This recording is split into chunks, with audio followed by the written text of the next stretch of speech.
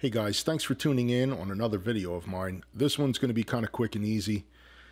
Often I get asked, what camera do I take out for my street photography?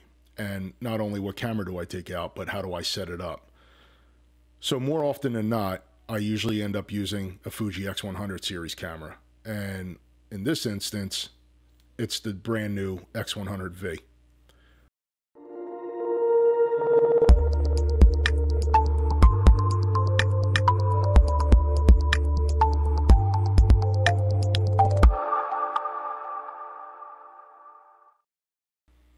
So what I'm going to do in this video is show you the most efficient way to set up your X100 series camera so you never miss a photo when you're out on the streets. It's a simple camera, set it up simply. When I mean set up the camera simply, that's simply just stating that I use the camera more often than not on aperture priority. You can see on the top dial here that I have A selected for aperture priority, meaning that anything that I select on my aperture is going to coincide with the correct shutter speed for exposure on the top dial. I don't have to sit there and fiddle around with the settings in order to get the proper exposure. I can just simply use aperture priority and it'll set my time accordingly. If I tilt the camera down just a little bit here, you can actually see on the ISO dial as well, I have that on A.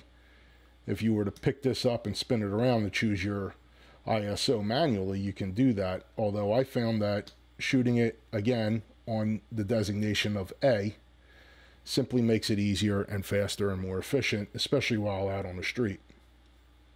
You'll also notice that my exposure comp dial is set on C, as opposed to picking my exposure comp by using the dial manually. Again, just another reason that I'll go into in a few minutes to make the camera more efficient and faster out on the street. Now I also have this function button set up for something special as well as the front button here. Those of you that do not know, this is also a function button that you can assign. And I'll get into how I assign that in a second. Okay, now let's take a look at the back of the camera.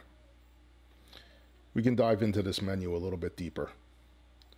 But by setting it up this way, I found that it's the quickest way and most efficient way to capture images out on the street and ensure that you never miss anything. Using autofocus, I select all in the menu, which allows me to cycle through each focusing mode simply by selecting the dial, the uh, joystick, and then scrolling through either direction cycling through however I want. I can simply go to single point, move around if I wish. I can go to um, a large square zone and move around if I wish. Or I could bring it all the way out to wide tracking. Again, selecting all in your menu, focusing parameters as all uh, will allow you to cycle everything through and again, you don't have to dive in and do anything further. I also have this AEL and AFL lock button in the back set as exposure lock. That's kind of really not that important because with mirrorless cameras, I can simply just ride the exposure and, you know, pick what I'm trying to expose for uh, rather than locking the exposure and then recomposing. But nonetheless, I do have it locked on and off getting back to my exposure, like I told you before, I'm using the dial on the top set up as command, and I'm using the front command dial in the front of the camera as my exposure. You can see the dial on the left going all the way up, all the way down.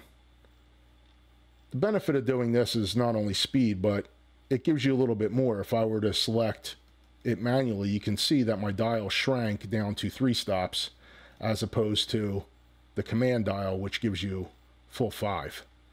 Not that you're going to use five, but it's nice to have it. And again, it just makes it quicker to shoot aperture priority and use this front dial for exposure. I'm going to bring this down a little bit so it's not too bright on the screen. Now again, the other button that I choose for a function button is this top here. I set that as film simulation. The reason why I picked that as film simulation is simply by pressing it while looking at a scene in live view, I can select whatever simulation I want that best applies to the scene. If I want to shoot in black and white, I can see a live preview of the scene right before my eye without having to dive into the menu or guess the way it's going to look prior to shooting. I can actually see a live version of it just by setting this as my function button for simulation.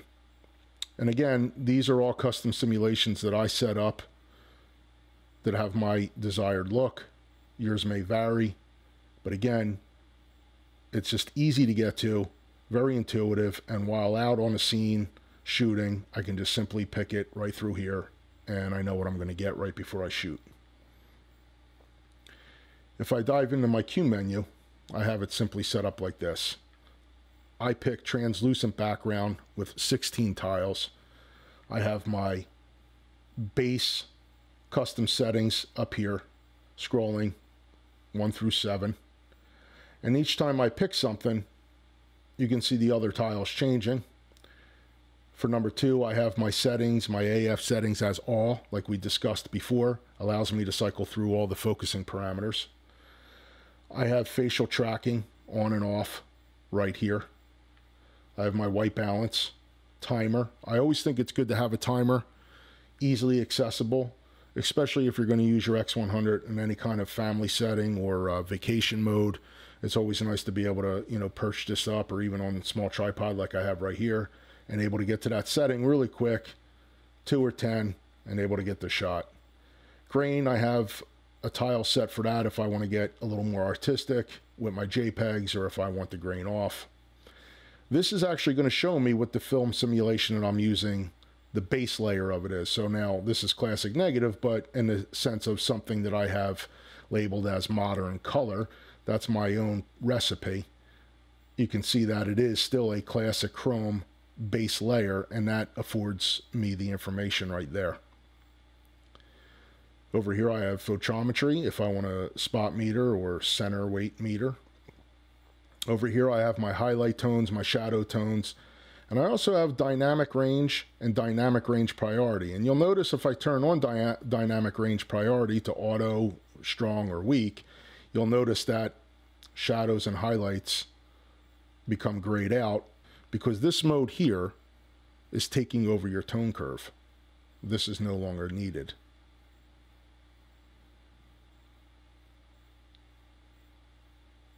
If I turn that back off, your settings remain you can turn on your dynamic range to auto 100, 200, or 400, depending on the scene.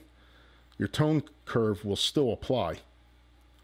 The only time it will vary and shut off is if you turn on the priority. I have my ND filter right here. The ND filter is great and it's it's a really valuable tool to have accessible fast if you want to set up something artistic and blur some water or blur some speeding cars or anything uh, artistic, it's great to have the ND filter, especially if it's a bright day and you want to shoot wide open.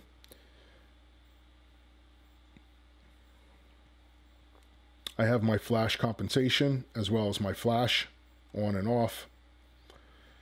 And on the very last tile, I have my LCD brightness. And although this might not be a big deal, it's actually a good thing to have because if you're shooting indoors at night and you don't want to highlight your face or you don't want to ruin your night vision, it's always good to turn your LCD down a little bit. During the day, you may want to pump it up for bright sunlight.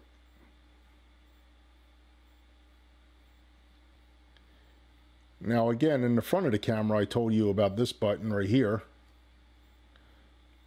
And I'm going to show you what I use that for accessing that front button I have for my auto ISO. And you can see from my ISO settings, this basically covers me for everything that I'm going to need. I have a 160 base, a 12 800 ceiling, and I have a 160th shutter speed. This allows me anything indoors or dark. For ISO number two, I have ISO 160 as a base 6400 as a ceiling, and a 160th shutter speed. This is going to give me everything that I need general photography while out and about, anything shooting, uh, stills, or just people that aren't moving. ISO number three is basically built more for speed. 160 on the base, 6400 as a ceiling, and I have a 1 400th shutter speed. This is going to be great when I'm walking around in the city and I need to grab pictures quickly and stop some movement. The last thing that I have set up is this rear command dial. If I push this, I get a zoom. And that can be scrolled in or out to get a larger magnification or less. Push it again and you return back. Again, that's just how I set up my X100. I find that to be the most efficient way to always make sure that I really never miss a photo. Everything's intuitive, everything's within a fingertip away. I don't have to deep dive into the menu system to try to find the functions that I'm looking for. Everything is just either on the touchscreen or accessible through a button. I hope you found this video helpful. Please consider subscribing, hit the notification bell. Follow me on Instagram. I'll put the link below. Now the only thing to do is go out with your X100 and get some shots. And like I said, I hope this uh, video helped you uh, figure out how to set up your camera. Thank you.